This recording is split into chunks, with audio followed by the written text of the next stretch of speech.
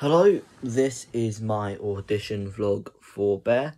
And so in this vlog, I will be talking about my audition for Bare, what process I went through to do my audition, and what I can improve on. So on the first note, um, there is obviously a lot I need to improve on. Um, these include things such as like confidence, timing, remembering my lines, and projection.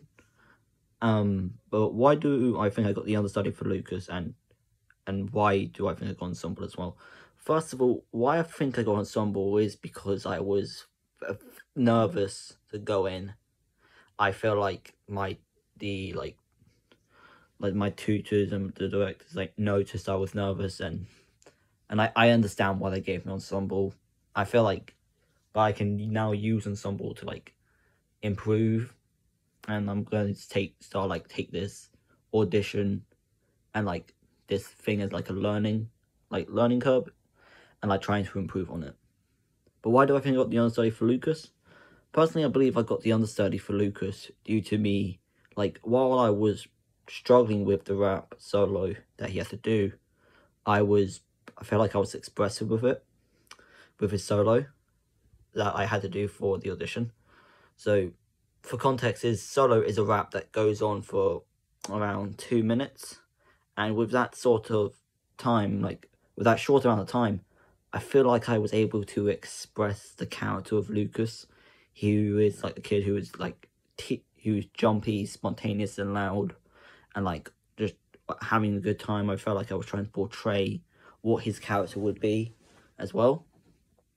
And with this audition i really tried hard to focus on the acting through the song as well with delivering it.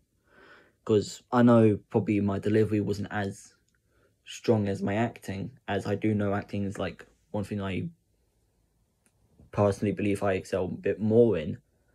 And sometimes when it comes to comes to a song, it can be difficult because I need to be thinking of like, okay, I need to actually sing this correctly, and but also act through it. So I need to like improve on that other other than that stuff. Um one thing i would like to improve on is my delivery and stuff that i sometimes get when i have to do a solo or an audition of any form typically a singing audition and actually probably with monologue auditions i do realize i struggle with that occasionally.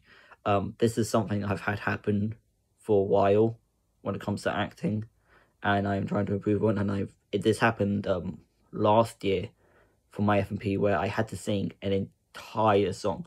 And while I did know the song, I feel like there were things I just struggles I faced, like remembering to being being on time. But other than that, I still think I did well. But like that, I've noticed, like comparing my audition from today and my solo that I had to do last year, I can see like what I need to improve on in both and stuff like that, if that makes sense. But what will I change in my next revision of this piece? So if I were to do the solo again to like like a different director that's do a different director, um, I will change how I present myself before I start and like before like I'm actually like singing and rapping. I feel like since I look nervous to begin with, that might have like hindered my ability to get a better role and not just ensemble, just not just an ensemble and understudy, which I'm still fairly grateful for. I I feel like having ensemble now has actually like is probably going to help me like figure a bit more about myself and help me with different perspective when it comes to theatre.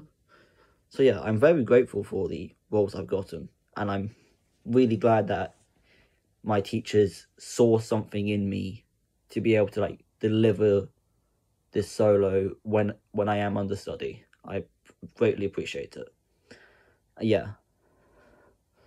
And yeah, this is it's not me saying that I'm not grateful for the audition. I do believe it generally helped me improve because I knew where I needed to improve on, like even before I did it. But yeah, that has been my Bare audition vlog.